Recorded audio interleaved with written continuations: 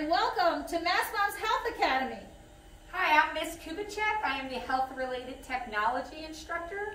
And I'm Mrs. Torres, the Health Information Management Medical Records Technology instructor. We're so happy to have you join us to learn more about our careers in healthcare. We're hoping that you find an interest in joining one of our shops. So, have you thought about it? What do you want to be? So just take a moment and join us as we show you what we do in this shop. Hi, and welcome to the Health Related Technology Shop. In this shop, we learn a variety of skills such as hand washing, infection control, how to put on PPE such as gloves, gowns, and masks. We also learn how to assist patients with ambulating and uh, transporting patients in and out of bed and with assistive devices. Um, as you can see, we have a real life hospital setting here. We also work with patients to learn vital sign skills. And these skills can be easily transferred into careers as a registered nurse, a nursing assistant, a medical assistant. You can work in occupational and physical therapy. Uh, you can go on to become a doctor or a physician's assistant. Here at Mastbaum, we have relationships with St. Christopher's Hospital, where students can intern there on Fridays. We also have a really strong HOSA program where students can compete against students from all over Philadelphia and the state in different healthcare activities and competitions. If you're interested in healthcare, I would definitely urge you to consider um, this shop. There is a lot of great perks to working as a nurse or working in healthcare. The pay is great. The schedule can be great. There's a lot of flexibility as far as working in a hospital or working in a school, um, working in a long-term care facility. And I think the most important thing is it's a very rewarding career because you get to help other people. All right, so please consider health-related technology, and I look forward to seeing you next year.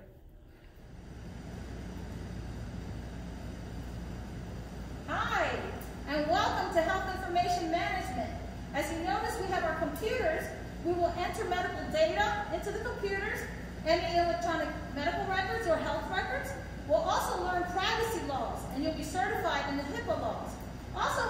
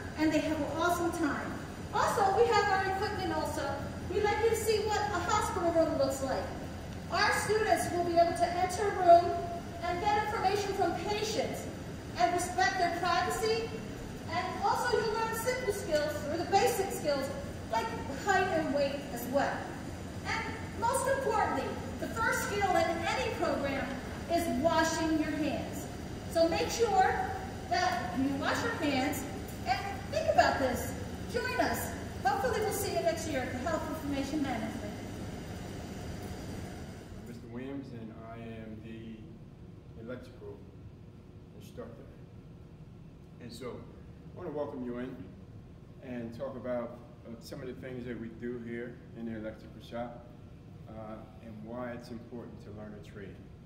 Okay, if you come in, you learn a trade about electrical, you can actually work on your own home, or if you have to pay someone, you, you will know exactly what they're there to do and how much it's going to cost you. All right, so it's a lot of benefits to learning the trade. So let's get started. first thing we want to do is talk about safety.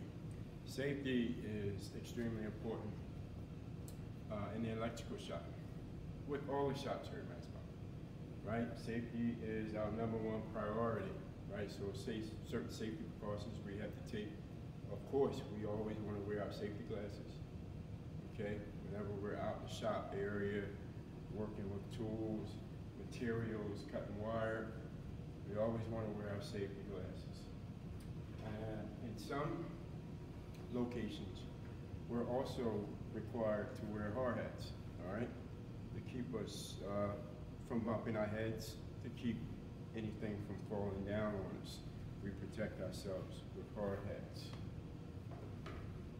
We have our safety gloves, okay? We're cutting wire, uh, using our hand tools, safety gloves actually prevent you from pinching your fingers or even getting splinters in your fingers. All right? Also prevent calluses because we do work with a whole bunch of hand tools. All right? So we have our safety glasses, we have our hard hat, we have our gloves. Okay? Some of the safety precautions that we take care uh, at Bomb, Another important item I like to discuss is you never want to work on a live circuit, okay? You always want to make, you always want to check and make sure that the circuit is de-energized, all right? You always want to make sure, all right? So we have our displays here, all right? And we always want to make sure that it's unplugged before we work on them. You never want to work on a live circuit okay? Work on a live circuit, you run the risk of getting shocked, all right? And we want to prevent that. So I have a lot to talk about. We, we do a lot here at Mastbaum in the electrical shop. It's a three-year course. Uh, students come in during their sophomore year. They work real hard up until their senior year. So there's three years here in the shop. We cover hand tools, right? We learn the difference about hand tools, all right? So let's get to the fun stuff, all right? So I actually have a couple displays here that I set up. I don't know if you're ever curious how the switches in your house work and how you are able to go into a room, hit the light switch, and leave out at another location, hit the switch and the light goes off. You come in at one location, you hit the switch, light comes on. You leave out at another location, hit the switch, the light goes off. I don't know if you ever thought about that. Or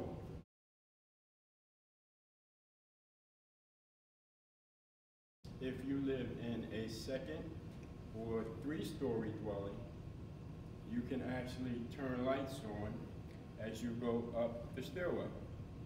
All right? Say, let's say you're on the first floor, you want to go to the second floor, but you want to turn the light on at the second floor before you get there. So you hit the switch, right? The light goes on, you go to the second floor, you want to go from the second to the third, so you want to turn the light off on the second floor, turn the light on on the third floor. They are three and four-way switches. All right, so we learn how switches work. Actually, we learn what they are first. Then we learn how to operate different type of switches. Our single pole switch. All right, on and off position, written. You can also tell that it's single pole switch because it only has two terminals. Okay, that's our single pole switch. This is our three-way switch. All right, and as you notice, there is no on, no off position. You could tell it's a three-way because it has three terminals. One, two, three. It's our three-way. This is our four-way switch. All right, a little bit thicker. All right, as you notice, there is no on, no off, and we can tell that it is a four-way because it has four terminals. One, two, three, four. Okay? So what's all this talk about switches? What's all this talk about switches? Three-way and four-way switches allow you to turn a light on or off from different locations. We have one, two, three, four, five switches. Five switches and four lamps. Okay? And so each switch either turns the lamp on or turns it off. Let's see. All right, so switch one. All right. Switch two is going to turn off our first lamp and turn on our second lamp. Ah, all right. So that's, we were on the first floor, right? We went to the first floor, we turned that light on, we left the first floor, went to the second, turn that one off, turn this one on, second floor. All right, our third switch is going to turn light two off and light three on. All right? It's our fourth switch down here in the corner. It's our fourth switch. Our fourth switch is going to turn off light three and turn on light four. All right? Three-way and four-way switches are good, uh, particularly if you have a long hallway and you're traveling down that hallway and you come in, you enter that hallway at one location, you walk all the way down the hallway, right? Turning the lights on, then you're leaving out, right? You can actually use those switches to turn off the light. All right? So light four is on, light five. What do you think light five is going to do? Turn it off. All right? Three-way, four-way switches allows us to turn lights on from different locations.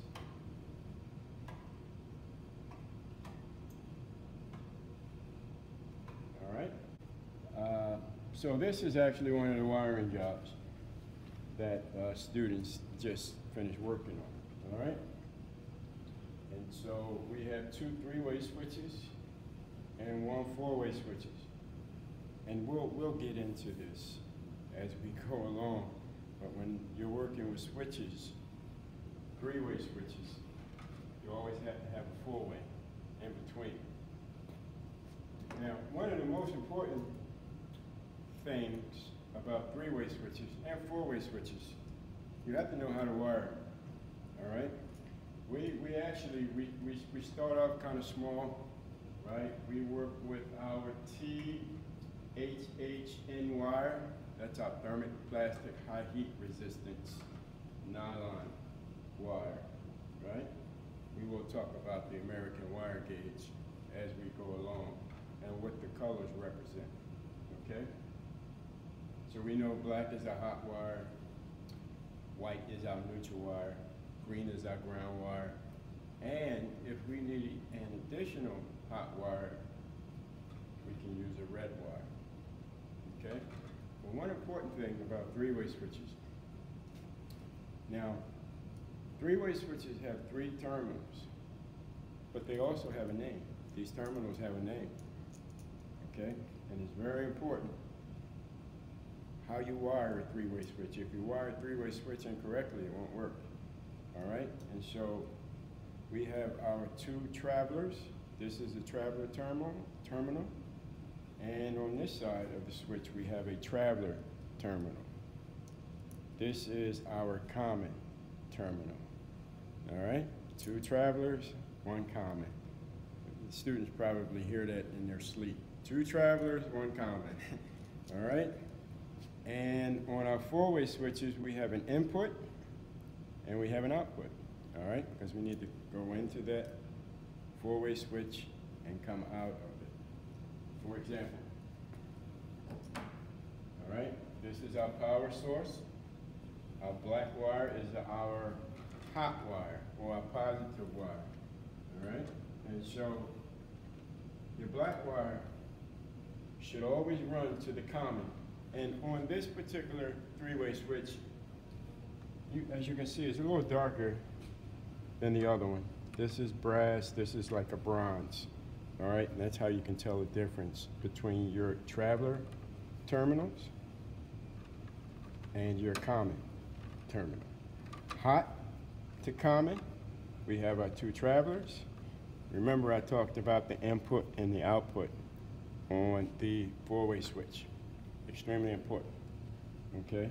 So we're coming out of our three-way switch. We're running to our four-way switch, all right? Input, all right? We're going to the top of our four-way switch, okay, to the top of it. Two wires, two wires is coming from a three-way. Then we're going to come out of this four-way and go to our three-way, okay? We have our travelers, we have our common, all right? From the common, we're going to go to our light, okay? To our lamp, all right? Now, we talk about positive wires, negative wires. We talk about hot wires, neutral wires, black wire, white wire. The most important thing about an electrical circuit, in order for it to operate or work correctly, it needs to be a complete path. We need to have a complete path, all right? Our hot wire brings our power into the circuit, and it returns back to its source through our neutral wire. That's our complete circuit, all right? Switches actually open and closes our circuit, all right?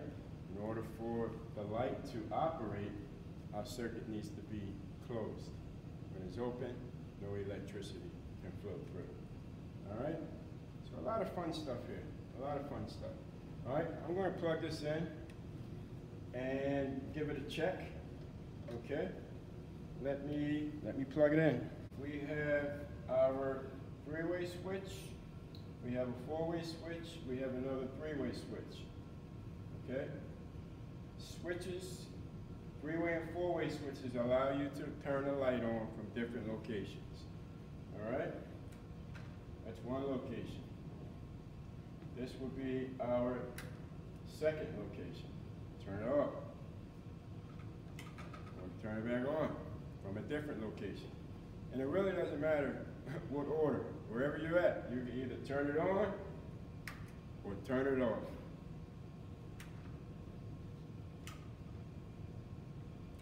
Switches. They're pretty cool. Pretty fun to work with as well. All right? So, that's just a little bit about the electrical shop. I hope to see you soon. Take care.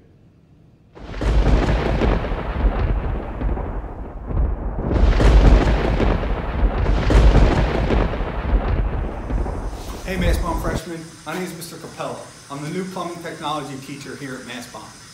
For all you freshman students who are looking for a lifelong skill that pays well, look no further than Mastbaum Plumbing. Besides getting this really cool shirt, having me as a teacher, you will learn all different types of plumbing disciplines. We'll talk about pipe connections, we'll talk about installing boilers, faucets, hot water heaters. I will teach you how to make in excess of $100,000 a year with what's just in this box. When you leave the Mastbaum Plumbing program, you will have the basic knowledge to start a high-paying career. Plumbers that own their own business can charge up to $125 to $185 an hour. Most master plumbers that work for a company make in excess of $100,000 a year. This is a high demand industry that is just begging for young adults like you to get involved in it. I will do my best to get you prepared for that career. So come build the Mastbaum Plumbing program with me, have fun while learning a lifelong high paying skill.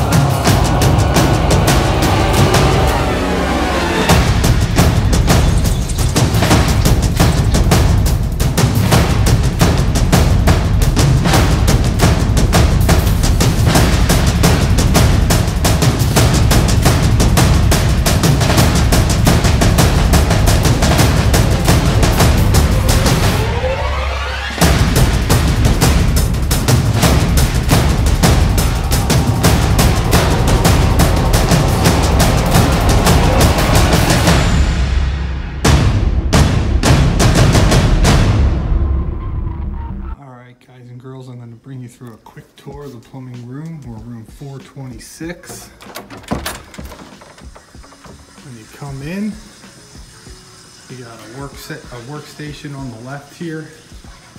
We got all of our safety equipment, sink, our own water fountain, fresh water all year long in the plumbing room. That's a big plus. Right here we have where we're gonna cut and thread pipe. As you can see, you can see water lines right there. Over here, we're gonna be installing a kitchen and a bathroom. That's pretty neat.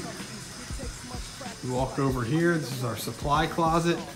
Got all of our supplies, our torch, all of our tools, all of our copper fittings, a bunch of other plumbing equipment. Come out of the supply closet on the left here. This is where we're gonna be installing our water heaters and our boilers. We're gonna hook them up.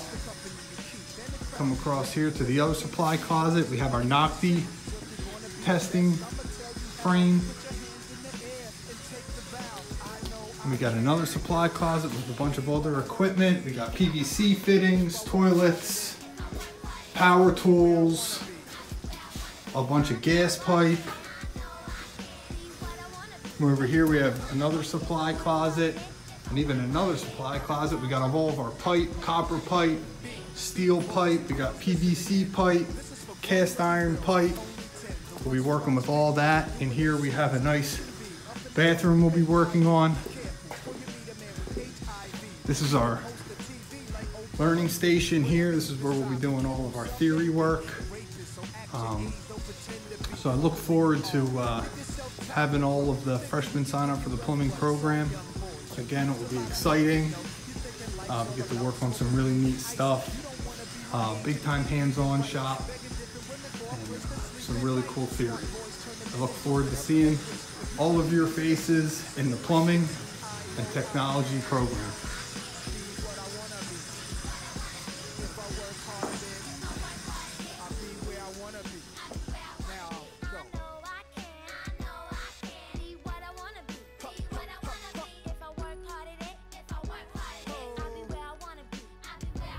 I am Mr. Singh.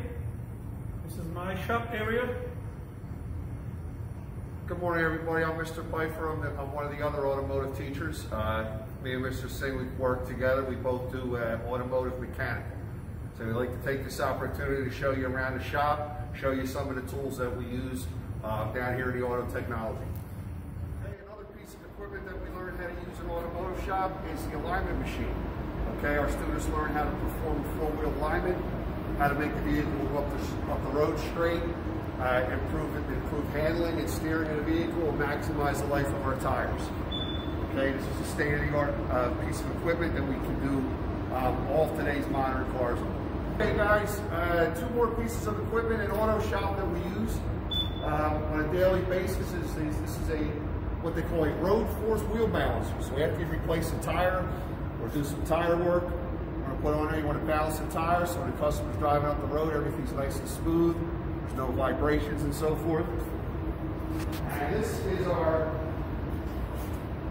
this is our tire machine. This is the machine that actually takes the tires off the rim and puts the tires back on. So this is another piece of equipment that our students learn and get to practice on before they start their careers as an automotive technician. Okay, so down there the hallway, that's a 122 gym. You have the male, female bathrooms here. These are going to be your lockers. Mr. Pfeiffer's classroom is across there. This is mine's 121. You enter the classroom. This is where we spend approximately 30 minutes every day. We do the theory here. As you can see, we got two smart boards. When we are done, we come into the computer lab where we do some simulations, practice. We get online. There are over 40 certifications you can get. A portfolio, you take your cards. This is all the tasks you need to do. When you become a senior, you should have all this done. You get into the cabinet, you grab one of the sheets. You need to come to me and say, hey, I'm ready for this. Diagnosing tire wear. Okay, this is when you get into the shop. As soon as you come in here, safety glasses on. As you can see, you got vehicles working on. F-150 up on the lift. We You've got a Toyota Prius hybrid, Toyota Corolla, another Toyota Prius hybrid. You get on your machines, you get on your vehicles, you grab your toolbox, and this is where we make it happen. Thank you for your time, and hope to see you guys in September in the auto shop. Thank you. Hey ninth grade students, Chef Tim Lopez here in the Panther Cafe kitchen at Mastbaum High School. Today what I want to do is just demonstrate a couple of the skills that you can learn in culinary arts right in this kitchen. So what I'm going to prepare for you guys today, I'm going to show you how to take apart a chicken leg from its thigh. I'm going to debone the thigh, then we're going to season it up, get some nice seasoned flour on it. We're going to do some pan frying. So let's start. So basically, you've never done this before, you can take a look. You can see the thigh bone is right here. Right? Usually there's even like a line in the fat that kind of follows the bone. And then right here, you can kind of see that natural separation. So you know when you go over here, you're going to cut straight through. What you're going to do is you're going to find where the bones come together. This is known as a boning knife. And you're going to find the natural spot where these bones come together. And you're going to just slip in between them to just take that take that leg right off. Okay, we're to lay that here. All right, so here's our chicken thigh. A line of fat following the bone. This bone's kind of popped out a little bit for us. Okay, the tip of a boning knife is very, very sharp. The reason being is you use that to pull the meat away from the bone. This is used to debone beef, pork, chicken. Okay, we have a, a longer, more flexible knife for fish. You can see this one's kind of flexible. The fillet knife for fish is a lot more flexible than that. So this is a boning knife, all right? So I'm gonna come in and I'm gonna make a cut right along that fat line and get down to that bone and then use that super sharp tip to scrape the meat away from the bone. And what you're doing with this hand, we call this the guiding hand, this hand right here. You're manipulating the meat with that. Now you can stabilize your boning knife with a finger you want to just pull that meat away from that bone. The reason we're going to debone the thigh is so we can slice straight through it later. It'll make for an excellent presentation, especially if someone who's never had a deboned thigh that's been pan fried, and you can slice right through it and not have to worry about the bone. I'm going to come right up. And you just come down, you find the edges of that bone, you scrape it away. You want to take care to make sure that you're seeing the cartilage that's in there. And remove that. Kind of just want to let the knife do the work. Like I said, the tip is really sharp, so if you're having issues with the blade itself, you go in just with the tip and you can slice it away just like that. What we're going to do next is I'm going to change my gloves real quick. All right, when we work with raw protein, raw products like seafood, chicken, and fish, we always have to change our gloves in between what we're doing. Now I'm still going to be working with the chicken, we're also going to be adding flour and seasoning to it. So we change gloves a lot. You guys will be changing gloves a lot too. Not only does it keep you safe, it keeps the food safe. All right, so we've got our chicken. I'm going to take a little bit of fine sea salt I'm going to season both sides of the chicken. Flip it over.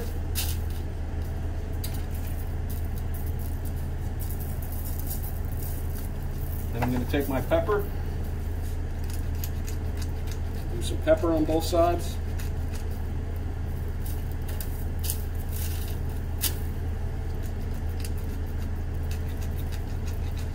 Fresh ground pepper is always going to be better than that stuff you buy pre-ground in the store. After a while, it just starts to taste like dust. It loses its potency. So fresh ground pepper is preferred. All right, so we've got our seasoned chicken. Now we're going to take a little bit of seasoned flour that I made up earlier. Now this flour's got salt pepper in it. It's also got a little bit of chopped parsley. And I'm going to take a little bit of cornstarch. I'm going to add that in. Kind of mix this around together. And then I kind of like my chicken a little bit more peppery kick, so I like to add a little bit more pepper to my seasoned flour.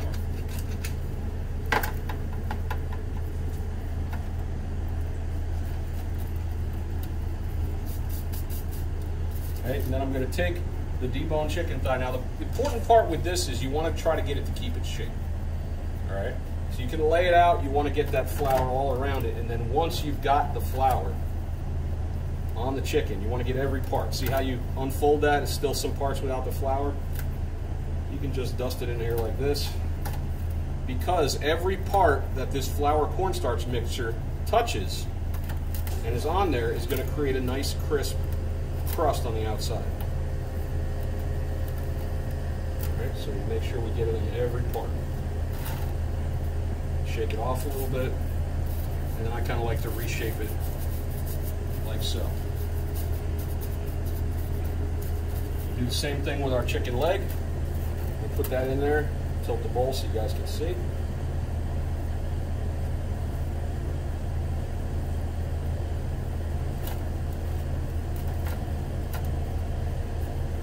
And there we have it. Now, if you're not going to work with it right away, what I like to do is you can always dust off the extra flour. I just want to talk for a second about mise en place. Mise en place is a French term meaning preparing things before you're ready to cook. You can just add a little bit more flour to it just to keep the skin from drying out a little bit. And we come back to that. So once again, new task. I'm going to change my gloves. Leave our chicken there. What I've got here is what's called a mise en place setup. Mise en place is a French term, as I said, and that means kind of getting stuff ready to go before you start to cook. All right, so we've got our chicken. We're going to pan fry that over there. So now we're moving on to our vegetable prep. All right, we're going to have a pan-seared chicken. I'm going to make a nice sauce for it. What I'd like to do today is this is broccolini. Right, this is baby broccoli. Very, very tender. Okay, excellent quality when roasted or grilled. That's going to make an excellent accompaniment to the chicken. We've got some organic baby carrots with a little bit of stems on. Right, I clean these ahead of time. You just got to peel them away and wash them really good. So what we're going to do is, I'm going to use one of these bowls here. All right. We're going to try to get the carrot be about half, cut it directly in half. What I like to do is I like to cut on what we call the bias. All right, so what that does is it creates that nice little triangle effect. And I like to split these in half. They're going to roast up more evenly. And we'll split this in half as well. We're keeping that little top on for presentation, okay? You can eat it, it's edible. Most people don't eat it. They'll kind of like pick the carrot up with their fork and bite up to this part, and, and they'll just get rid of it. But it makes a really nice presentation with the fresh green tops on. So we're going to do the same thing for all of our carrots. We're going to find the, the, the halfway. We're going to cut them in half, pop them in the bowl. So the carrots are going to go in the bowl, and the broccolini is going to go in the bowl. And I will season those, and I'm also going to add a little bit of honey. I love honey roasted carrots. And I love that when we roast with honey, it provides a little bit of caramelization and not too much sweet. Like honey is very sweet, but not as sweet as if we use brown sugar or something else. Honey's really going to give us that caramelization. A lot of natural sweetness is going to come out of the broccolini and the carrots too as they cook. All right, so there you go. So you got your carrots prepped. I saved the tops of the carrots because these are excellent for garnish. Know, a lot of people will go out and spend a ton of money on fresh herbs. Here's some fresh herbs that I bought. Oregano and rosemary probably cost me about $2.99 just for that little bit at the store. All right, these are free. They were on the carrot top, so you can use these as garnish, and we'll get to that. All right, here's our broccolini. With broccolini, what you have to do is you want to take away about half of the stem. Okay, this part down right here is very, very fibrous. So you just come and you cut that away. If it's small like that, it can stay at that. If you've got something where it's multiple pieces that are really big, like for instance this piece, you're going to want to go cut that away, and you're going to want to break these up a little bit. So I like to go in with a knife, just split them, see if they're a little still too big. The goal with this is to get everything to be exactly the same thickness, kind of. All right, so you see how they're going to roast at exactly the same time. They're going to get done at the same time. It's very important consistency when you prepare something. All right, this is the chef's knife I've been working with. It's my new beauty. I love this thing. You notice my grip is different than the boning knife. The boning knife, I was kind of like this, or I was kind of like this. The chef knife, you have to kind of pinch it. You pinch grip it. So your thumb goes on the side, your other hand goes here, and then you've got complete control of the blade. Okay? We'll get into some more chopping later. So what I'm going to do with these now, I'm to just toss them around a little bit. We're going to add a little bit of pepper. We're going to add some sea salt.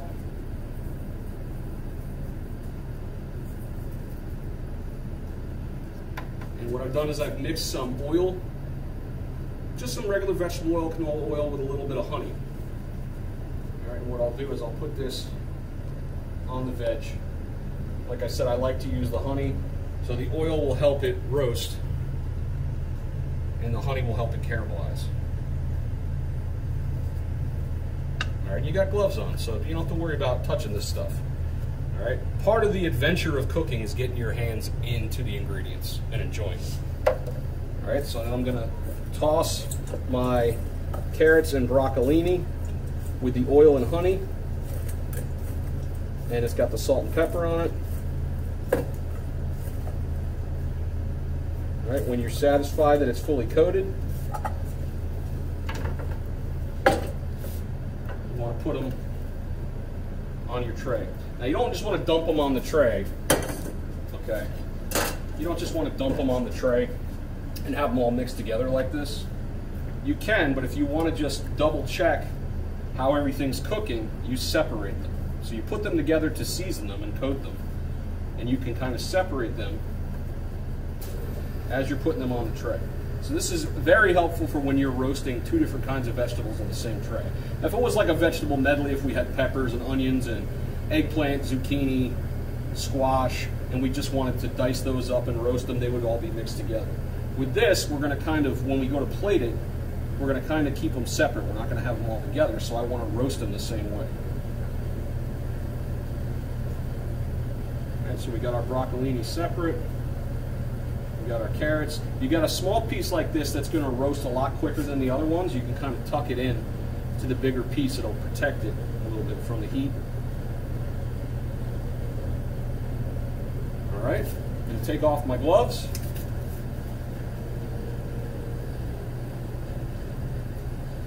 I'm to put this into a oven. Now I pre-sprayed this pan so they're not going to stick. The oven's been preheated to 325 degrees. I'm to slip that in there, and we're going to have some roasted veg. We've got our veggies roasting. Now we're going to move on to our chicken. Okay, remember we took our chicken, we deboned the thigh, removed the leg, seasoned, seasoned it, seasoned flour. You're building layers of flavor. That's why we season the product, we season the flour, and now we're going to pan fry it. So what I've got over here, I'm going to use a pair of tongs, okay? Safety, we go in hot oil with tongs. I've got my cast iron skillet, okay? I've got some canola oil in there. It's up to temperature. See the smoke coming off a little bit. I'm going to stick the chicken in.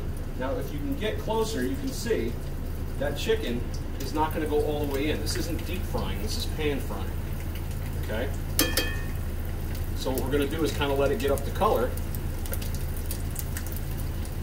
And you can see, see the color starting to change at the edge there?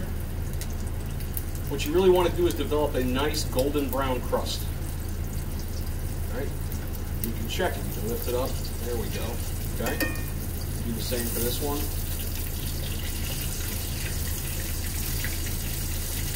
That's how we pan fry.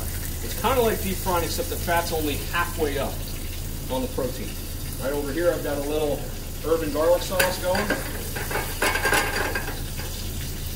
Got some fresh tarragon in it, some rosemary, some parsley, a little bit of garlic, a little bit of lemon. That'll taste really good with this chicken.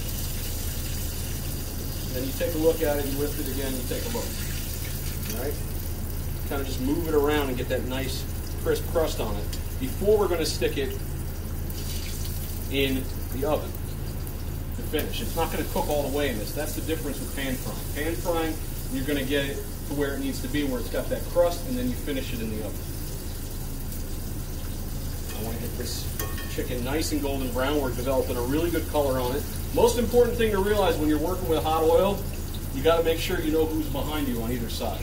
All right, safety is very important in the kitchen. If I'm frying something with hot oil, you're walking behind me, you say, behind you, chef. You say it loud so I can hear you because the kitchen is quiet because I'm the only one in here today. When this is full of students and we're banging out delicious food, it gets really loud. So you got to let people know if you're walking behind them. Okay, you don't want to bump me forward and suddenly I'm getting pan fried. No-no. That's a way to uh, a poor grade, if you ask me, if you burn the chef. All right, so back to our chicken. Get that crust nice and golden brown.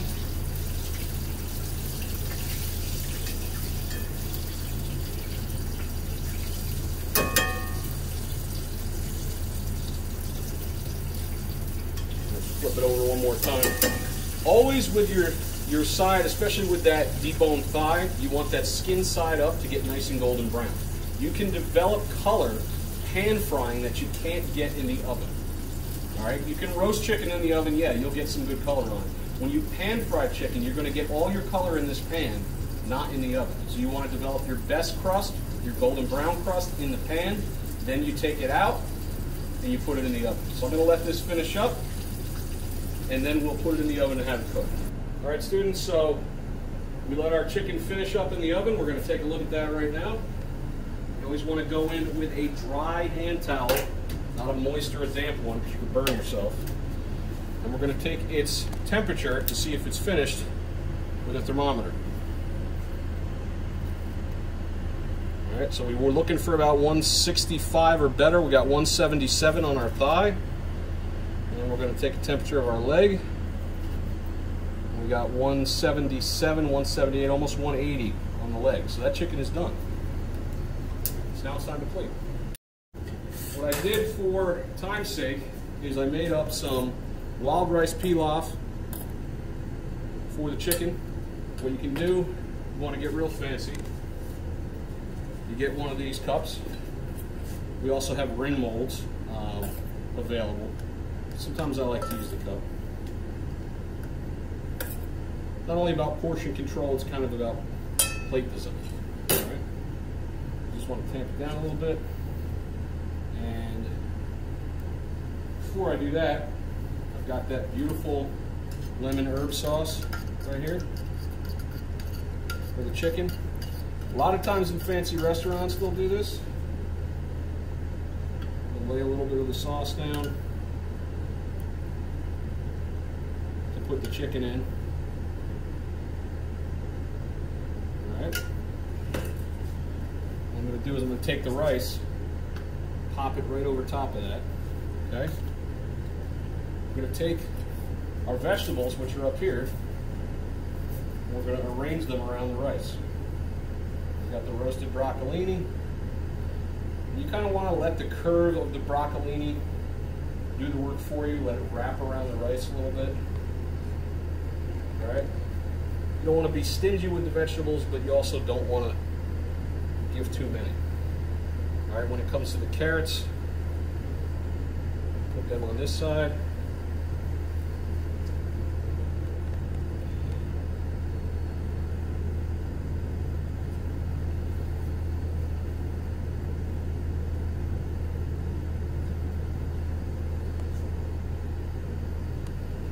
Okay. This over here. All right, so now sauce. We're gonna add a little bit more sauce because our chicken's actually gonna drape over it this way.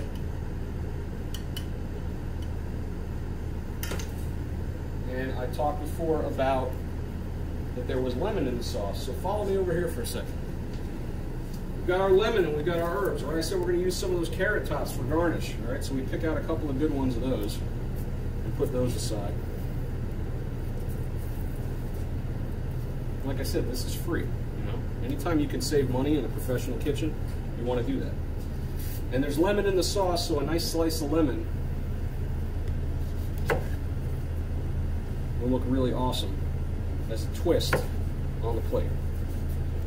Just brush that that pit out of there.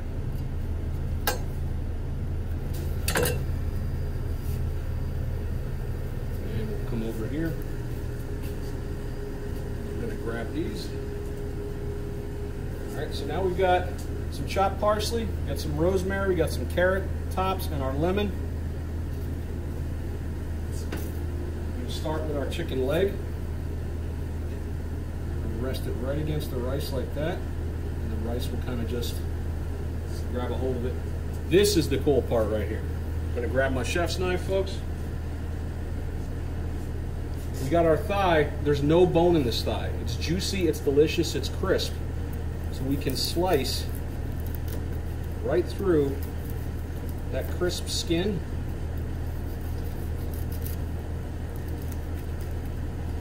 All right, we got nice, juicy, boneless chicken thigh. Just inch the broccolini a little bit. Spread that right there. Maybe I, I can change it up at the last minute, say maybe I don't want the whole lemon.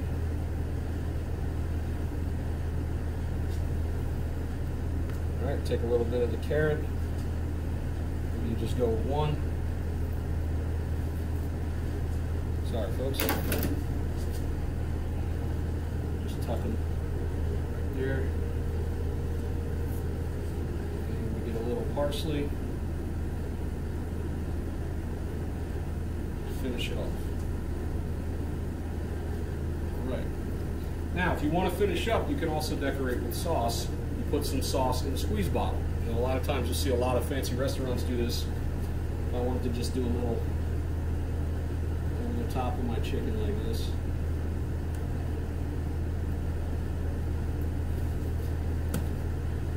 Just give it a little bit of parsley. Like that. All right, here you have it. Order up. Okay, we got pan-fried chicken with an herb and garlic sauce with lemon, some wild rice, and some honey roasted baby organic carrots and broccolini. All right, so you want to get a nice zoom in on that.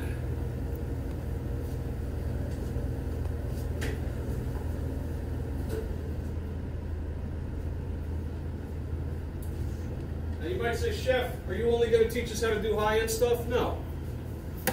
Teach you guys how to do some really banging barbecue too. Chef Jazz and I are ready to not only get you on a culinary adventure, but also get you to try and make things you've never had before, but also get into some really classic favorites. All right, so here you go.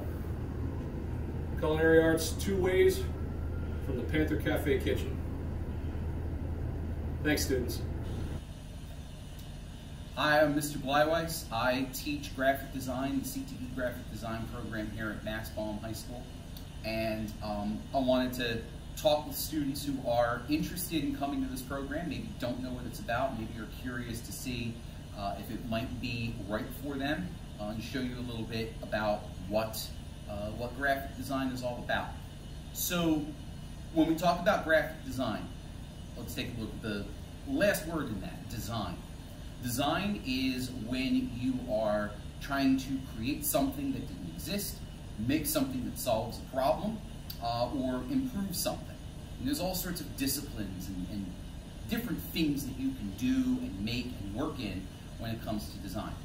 When we talk about graphic design, we're talking about solving problems or making improvements in terms of visual communication. How do we get messages across to people uh, and have them understand and take in their meaning using text, pictures, color, and where they're located. When it comes to graphic design, when it comes to making decisions about how to get messages across to people so that they understand it, have a reaction to it, maybe take an action based on that, um, you have already been doing a lot of that and probably don't even realize it. Take a look at the screen, and if you've ever gone off and made a meme, put together an image and some text to try to be funny or to try to get a message across to somebody, very basic terms, that's a graphic design. If you've ever used a social media platform and put a filter on a picture of you or somebody else, you are using elements and principles of art in a technology context to try to get people to um, think about things or respond to things a certain way. Okay? If you have ever used word processing, if you've ever used Google Docs or Microsoft Word to write a report or try to uh, put information down on a page that needs to be printed or needs to be turned in to a teacher, there are so many decisions that you're already making that are graphic design decisions in order to help somebody, your teacher or whomever else has to read this, you're already making those graphic design decisions to help somebody look at this, understand the message you're trying to get across, and respond to it. We talk about sizes of, we talk about sizes of text, we talk about colors and positions of text, the amount of white space around uh, the edge of a page. Little decisions like that, you may not think about them much at the time, but these are graphic design decisions that help get a message across in a particular way. A lot of what we do deals with um, pictures. A lot of what we do deals with the creation of art and the manipulation of content. Not looking for anybody to come into this class or leave this class as a fine artist. You don't necessarily have to come in here or leave here as Monet or Picasso or anything like that. Design is problem solving. I'm looking for problem solvers. I'm looking for thinkers. I'm looking for people who can come up with ways to address communication solutions, get messages out to people. Uh, sometimes meet the challenge of a very narrow message or very specific things to use and come up with solutions that look really, really good. Um, some of the stuff that we do here, uh, a lot of the stuff that we do here, you're going to learn about elements and principles of art, and then you're going to apply them in technological contexts. Industry standard hardware, example iMacs, industry standard software, one of the pieces of software you're looking at right now is Adobe Illustrator. Adobe Illustrator creates art using lines, points, curves, mathematics. These images are scalable. These images are able to be placed uh, without distortion on anything from the side of a pencil to the side of a bus to the side of a building. So uh, we, when it comes to making this kind of art with points and with lines and with math, it's stuff that you can manipulate, sometimes very easily, and have a lot of control over. Um, the only thing is, this kind of stuff is not photographic. We'll get into photographic stuff in a little bit.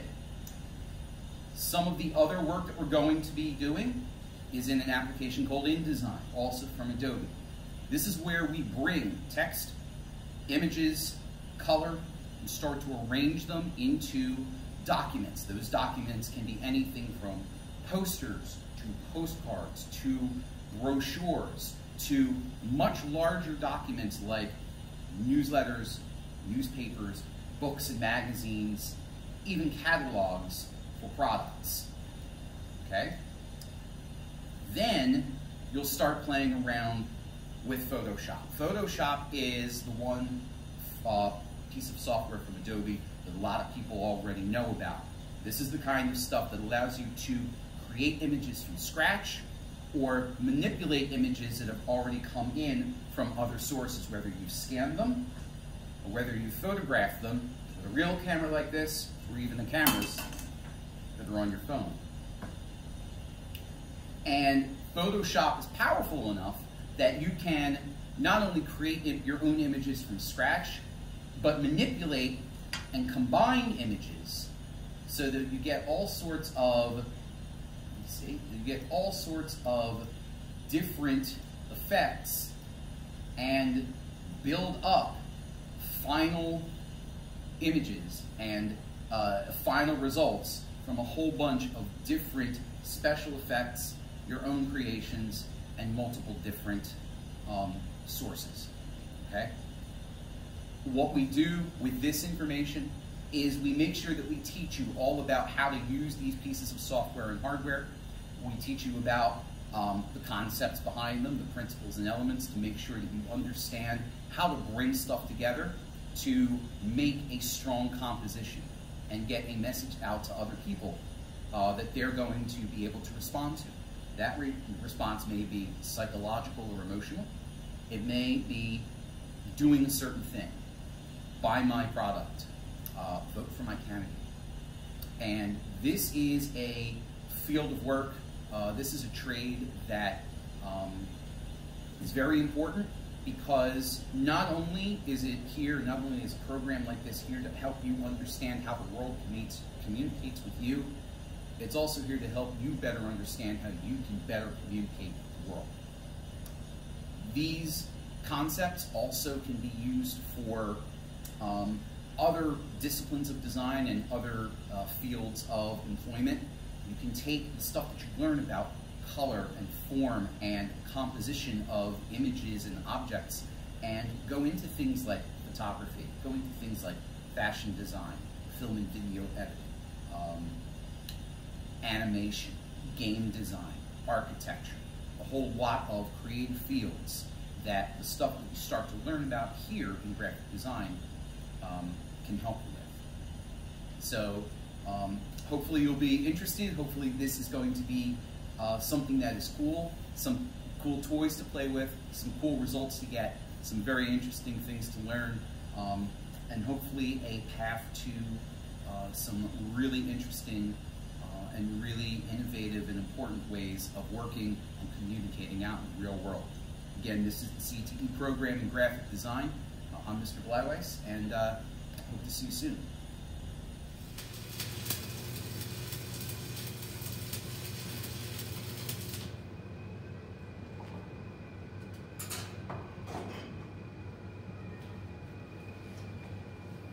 Hello, I'm Mr. Blocker. I teach the welding at Mastbaum here.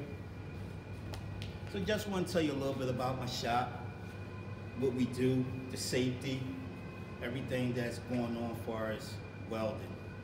Um, if you look around in the real world, everything you look at, cars, trains, boats, buses, the chairs that we uh, sit in in the uh, classroom, the welding booths. Welding is everywhere.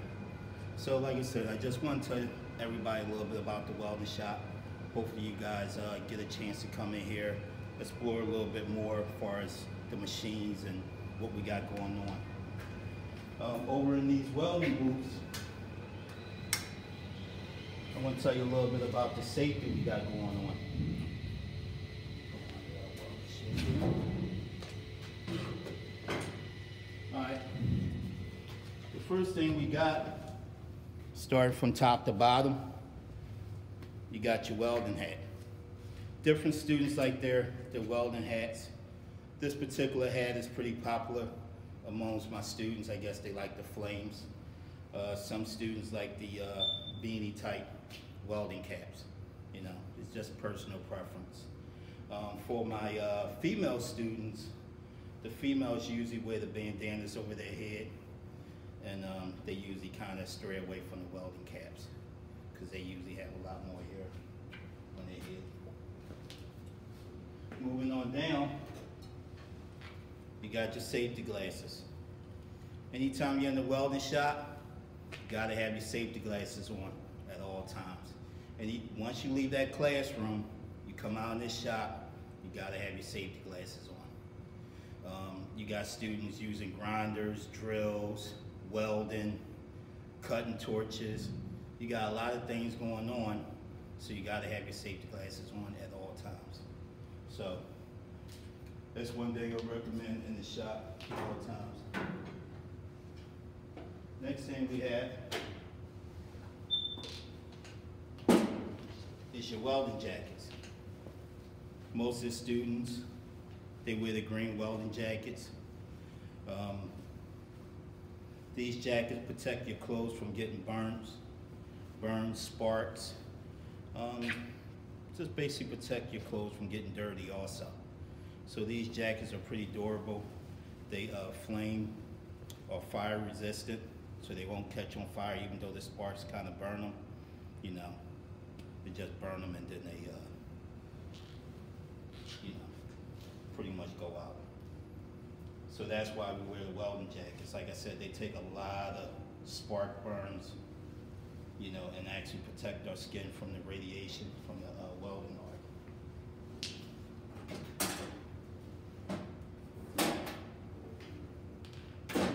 Also with the welding jackets, once students start getting a little bit more advanced and they start doing like different welding positions, they might move on to the heavier welding jackets just to protect them a little bit more, especially their arms and their shoulders. So they wear these leather welding jackets.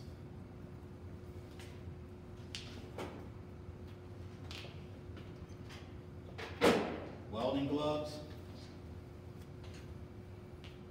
You got your basic stick welding gloves. They come in different colors. Um, these right here are for stick welding.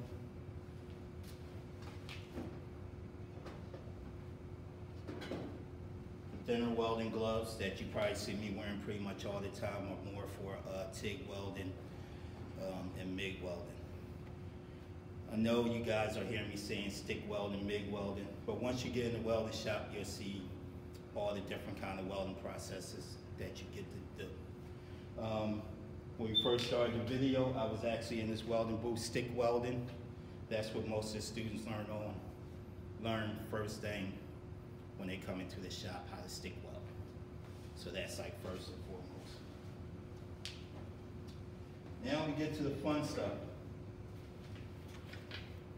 No, since we're dealing with uh, COVID now, things change. The students used to get these uh, welding shields and you know, once they're done, they put them back on the shelf with the rest of them.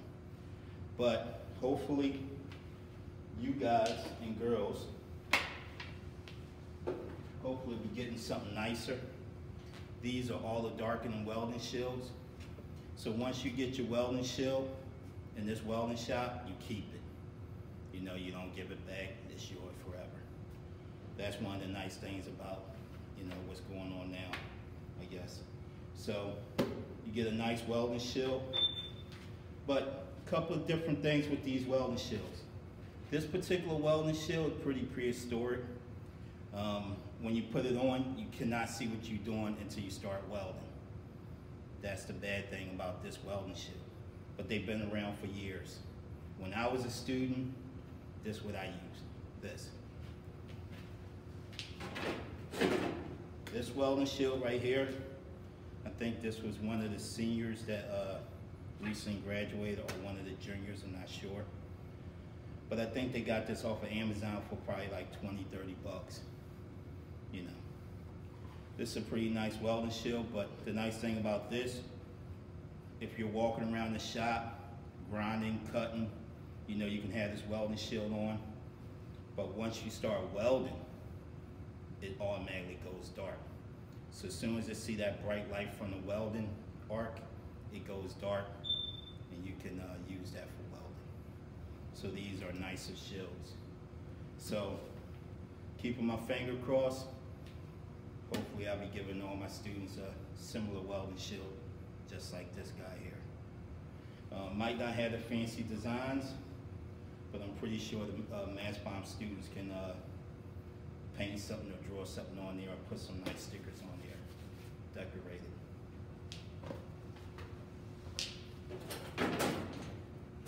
Moving on. Anytime you're welding, you gotta use your chip and hammer wire brush. These are pretty much in every welding booth. Once you're done welding, so say if you're welding a piece of metal, you would knock off the slag. If it's a good weld, you don't have to hit it too hard, you just pretty much rub it and just hit it with the wire brush. That's pretty much all you gotta do anything in this shop, I always tell my students have their welding gloves on at all times because any metal that you might pick up might be hot. So always have your welding gloves on. Right here you got your welding rod. Like I said, this is for stick welding, shielded metal arc welding. Um, as you welding, this, this welding rod get consumed into the puddle to create your weld. So that's basically one of the things with stick welding. But once you become a student in this class, I'll tell you everything about welding with these welding rods. Um, jumping back over here.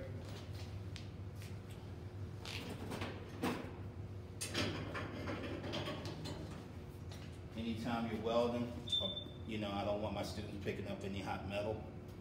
Always have them use some clamps. And then we dip it into the uh, water to cool it off. Next thing, students are wearing their khaki pants. You can also wear some jeans over top of your khaki pants. Also, boots. You want to have leather boots. Um, steel toe is what I prefer. So if you got to get boots, that's the only thing with welding and probably all the shops in uh, Mastbaum, you probably got to buy your own if you have a pair of old Timberland boots, a pair of hiking boots, as long as they leather boots, you're in good shape to wear for welding. And uh, if you have any issues about boots, just bring them in and I'll tell you if they good boots or not for welding. So that's what we got going on for as welding boots. Um, one thing all my students that they do learn in this shop is how to use a tape measure. This tape measure, that welding shield, all this stuff in here makes you a lot of money. Um, the reason why you take welding, learn a skill, learn a craft, learn a trade, and make money for you and your family. So that's some of the things with welding. But just one thing with tape measures, pretty much every day we doing some kind of math. If it's reading a tape measure, if it's multiplying, adding, subtracting, fractions, that's what we do. So every day we spend at least a half an hour with just learning theory of welding, doing some math and different things like that. Um,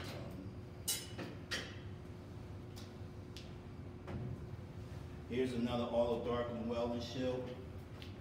Like I said, they have different price points. Some can be two, three hundred dollars, some can be 30 $40. Um, starting off, I always advise my students just to get a one that costs around 30, 40, 50 bucks. You know, nothing super expensive. But like I said before, fingers crossed, we should be getting some of these.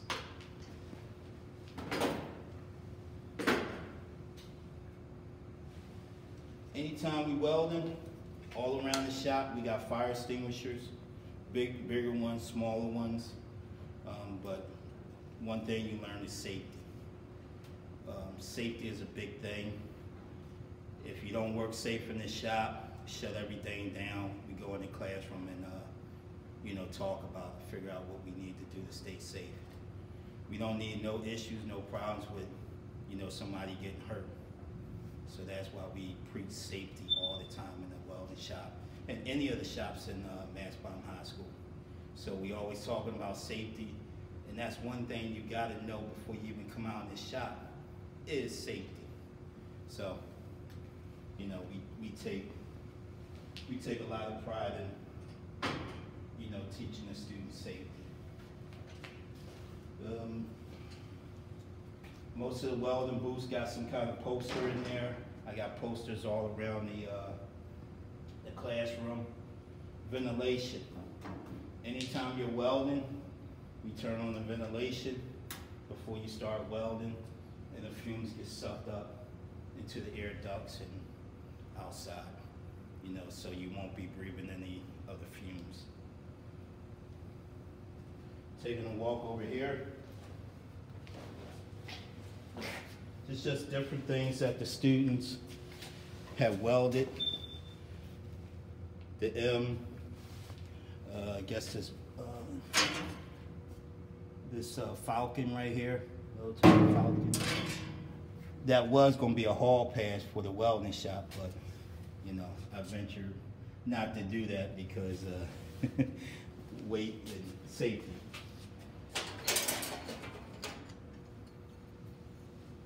The students learn how to work on different kind of metal. This is stainless steel, this is aluminum. This is basically TIG welding. Um, pretty much my juniors and seniors are working on a lot of TIG welding, gas tungsten arc welding. And this is some of the stuff that they're doing just starting off. You know, so they get to learn all this good stuff. They like making things. Um, students like making their initials, you know, whatever the case may be. They work on different uh, assignments. This is a T-joint, you know, so they gotta cut the metal, tack it together, and then they put their welds on there, and then they check the size of the weld with the uh, welding gauges. So that's one of the things the students had to do. Power tools. Students learn how to work on all different kind of power tools, and also hand tools. Um, pretty much every day they, you know, you'll see a student using a grinder in the welding shop, pretty much every day. Students learn how to use drills, grinders, um, band saws. So they learn a, a whole lot with different power tools and hand tools. They learn about uh, electricity, and like I said, electrical safety. They learn about uh, just being their, their environment, being safe before they even weld. So they just learn everything about safety. Safety is all year round. We learn it every day. No matter if they're in the 10th grade, 11th grade, or senior year, they learn safety pretty much every day. So, just to end that, if any student pick, pick welding, you know, if you're in the school, stop by the welding shop. You know, I give you a tour around the welding shop, let you see what's going on, and hopefully you pick welding. Thanks again, and I'm Mr. Blocker. Go. Hi you guys, I am Chef Jazz Pinkney. I am one of the culinary instructors here at Mastbaum High School. Um, in addition to the savory side of everything, which Chef Tim has shown you guys in his video, I also want to give you a taste of the sweet side. Go ahead,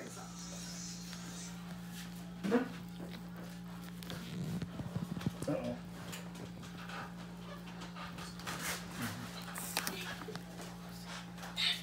That should be good.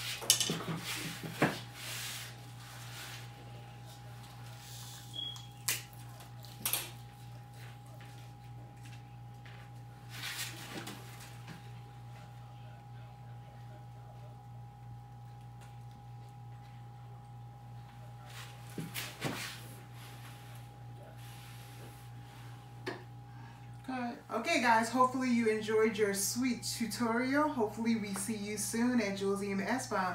Bye-bye guys. Okay, hello everybody. My name is Mr. Wazalewski. I teach the carpentry technology class at Mastbaum. And uh, today we're just going to take a few videos of some of the tools that you might be using if you become a member of the uh, carpenter team. Uh, this here is a miter saw. It's one of the saws you're going to be using majority of the time. Every day you'll be using this particular saw after the safety and training of you. And uh, I'll give a quick demonstration of what the saw can do. Okay, uh, you can see some of the lumber over here. So we're going to go over there, we're going to grab a piece of the lumber. And each day you come in, Wazalewski will tell you maybe he wants a certain size. Well, we stand here, we hold it, we stand straight, a little bit off center, come down slowly. You see the line that it makes. And we turn it over. We shut it off, we don't lift it until the blade stops. It's basically that simple. It has multiple operations or uses, this saw, which over the time, three years time, you would begin to use. It turns on an angle to do an angle cut here, to do an angle cut here. It can cut larger pieces of wood by pulling out and down and back in. So it's a very nice tool to use for carpentry.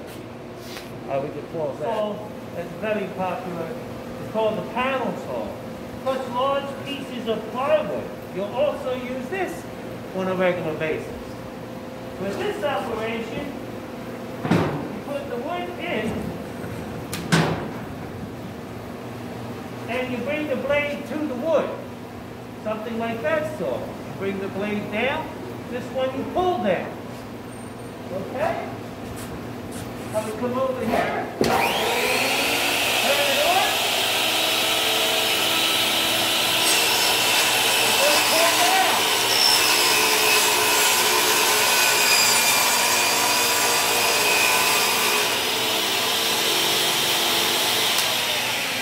Turn it off. Do not lift it up to the blade stop. And that's a quick demonstration of the panel saw. The last saw today we're going to show you real fast is the table saw. It's something like the panel saw, only we put the wood flat and we push the wood to the blade instead of bringing the saw down to the wood. A quick demonstration. Wait till it gets up to full speed. Stand to the side.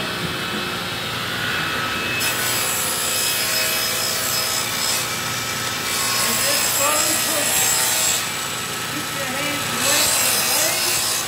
You'll have no problem. It's called a whip cut. Thank you. I hope you enjoyed the carpentry program. Well, my name is Glenn Beatty. Teacher of sports marketing and management, a new, exciting program that's being offered by Mastbaum High School. It's a three year career and technical education curriculum that is nationally recognized and will explore the dynamics of the business in, in, environment. We'll look at the marketing landscape, we'll look at principles of economics, we'll look at finance, money matters, we'll look at uh, we'll look at just the dynamic career opportunities in the sport and entertainment industry. If you're looking for a fast-paced and a high visibility profession, kids, this is the profession to be in. I sat last night and I talked, I just put down a bunch of my ideas about a vision for the program since it's a brand new program. And if you allow me to use notes, because I didn't want to forget a lot of the things that were on my mind that I would like to share with you. Um, so I, I'm going to use, I mean, I, I will have notes here.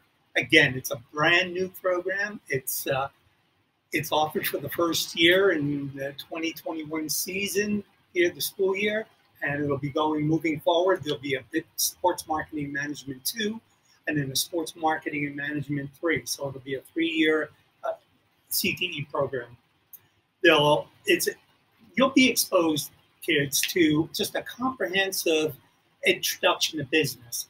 You'll get to understand the fundamentals of basic marketing principles, which of course can be applied against the uh, entire business landscape.